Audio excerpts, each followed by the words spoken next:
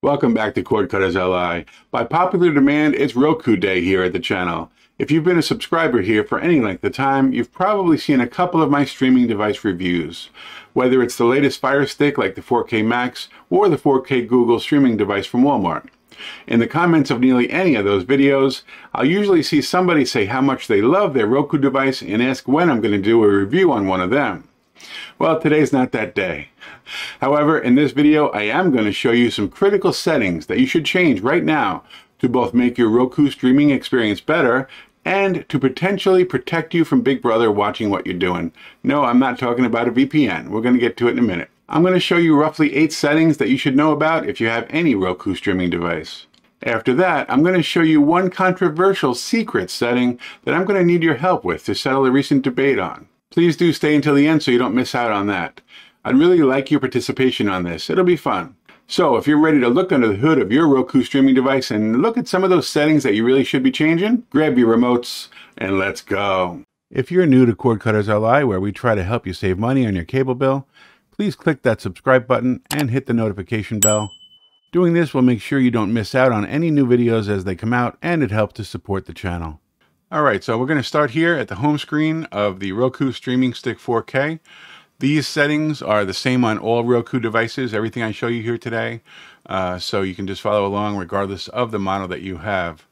The first thing we're going to do is go down to the settings and we're going to go over to privacy and click on that.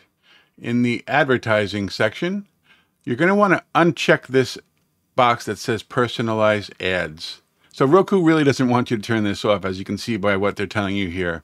It says don't personalize ads. It says your ads may not be relevant to you. That's good because I don't want to see ads at all, and you know if they're relevant, then I might be tempted to click on them. So let's uh, let's not do that.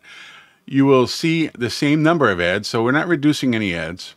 We're going to get to that secret setting later. I'm talking about the ads, so stay tuned. So let's skip all that garbage and just hit don't personalize my ads and we'll go back. The next setting I want to bring you to is under network. And if we move over here and we go down to bandwidth saver. So the default setting here is set to on. And what that means is after four hours or so of not touching the remote, it's going to stop streaming whatever you're streaming to save bandwidth. Well, I don't know about you, but bandwidth is unlimited here at Cord Cutters LI household. And probably the same thing goes for you if you're like me, you like to binge watch a couple of shows on Netflix or Hulu or whatever, four hours goes pretty quick. And, you know, you don't want to have to hunt for the remote after it stops playing for you. So go ahead and change this to off. The next setting I feel is a little hidden, and uh, this is the screensaver setting I'm going to turn off. That is in the theme menu. And if you go down to screensaver start time, I'm just going to go ahead and disable the screensaver. I'm not a big fan of this. Uh, the default setting is 10 minutes. So if you, you know, if you're watching something, um, you pause, you know, your your TV, your Netflix, or your live TV, whatever you are watching, um, go to the bathroom, grab a beer, whatever. 10 minutes later, it's going to go into screensaver mode. And unfortunately, sometimes these devices don't wake up very well uh, from screensaver. A lot of times when you come back and you hit the remote uh, to wake it up, you know, you're going to be back at the home screen and then have to navigate back to where you were before. So I make it a habit of just disabling the screensaver altogether. Let's go back. Next, we go to display type. This is a setting that uh, if you don't have set to automatic, I've had a couple of friends reach out to me and let me know that they had a regular HD 1080p TV before and it was set to this.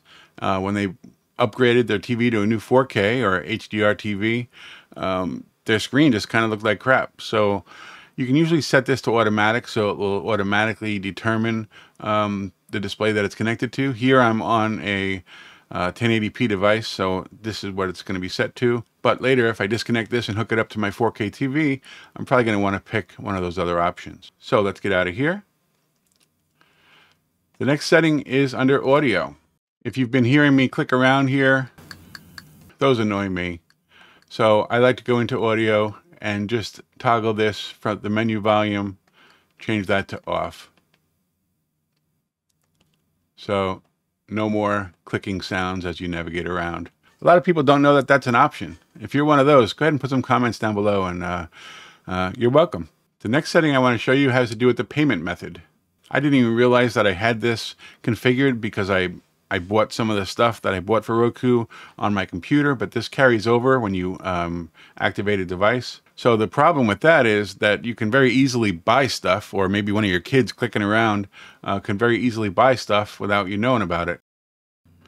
So to remove this credit card from your Roku device, you can't really do it on the device here. You need to go out to the website, go to my.roku.com slash account, and then click on update and scroll all the way down to the bottom to remove payment method. I'm not going to do that here because I'm the only one that uses this device and I have nothing to worry about. So let's continue on. Let's go back out. So the next setting I'm going to show you is in the system setting and it's down in power. You have auto power savings after 20 minutes of no interaction. So in other words, if you don't do anything, if you just walk away from the home screen, it's going to go ahead and shut down your device after 20 minutes. I'm not a fan of this either. Um, if I have my TV on, I'm probably going to want my device on. So I uncheck this. You're probably going to want to do that as well. It's going to ask you to confirm and that's fine. The next setting down is where you actually restart the device, which is always a good idea if you're having some issues, um, some buffering, or if one of your apps are acting up and so on. Um, earlier, I had some Wi-Fi issues. I thought I wasn't connected, so going into a system restart took care of that. Um, the other option, of course, is to climb behind the TV and unplug the power and plug it back in again, but this will save you that, that grief. Okay, backing out now. The last section I want to show you is under Advanced System Settings, and this is where you would do a factory reset if you wanted to.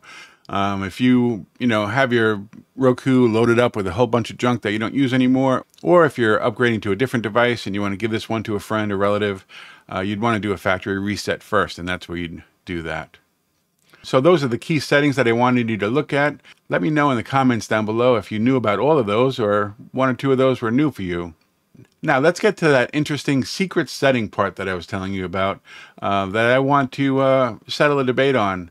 I have searched around, I've found on YouTube many, many videos that let you know how to get rid of this annoying ad uh, that's above my head there. The instructions that you will find invariably, if you hunt around enough, you can get to a secret settings section of your Roku by following this button sequence. I'm going to say it out loud. I'll also put it on the screen for you so you can see what I'm talking about. You hit the home button five times. One, two, three, four, five. And then up, right, down, left, and up. And watch what happens. Secret screen number two. It's kind of weird because there is no secret screen number one, but the consensus out there on the interwebs is that if you change two settings in here, you're going to be able to get rid of that ad on the right side of the screen and on the home screen in general. And those settings are as follows. You go down to cycle scrollable ads and you would change this to always disabled. And then you move down to cycle home screen ad banner server and you change that. See on the left, as I'm hitting this button, it toggles those settings. You're supposed to set that to demo 3. Once you do that, you hit home, and that ad is supposed to be gone. I've also seen some other videos and some instructions that says after you hit home, you go to the right, to the left, to the right, to the left, and to the right again, and it's gone. For me, I've not had this work I've also seen other videos and articles that say it may take one or two restarts of the Roku to, to make this ad disappear. Well, I have a feeling that one of the recent updates in Roku just got rid of this function altogether.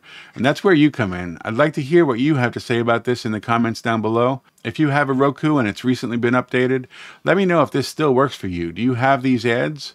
I've heard from a couple people that the ads mysteriously showed up again on their Roku device over the last week or so. Let's settle the debate once and for all in the comments section down below. Let me know if it works for you. Let me know if it doesn't work for you. I'd really like to hear from you. So there you go, a whole bunch of settings that you may or may not have known about on your Roku streaming device. If you enjoyed anything you saw here today, please click the like button on the video, subscribe to the channel, and as always, share this and all of your favorite Cord Cutters LI videos with your friends. This helps to get my videos shown to more people on YouTube and helps to support the channel. Thanks for watching.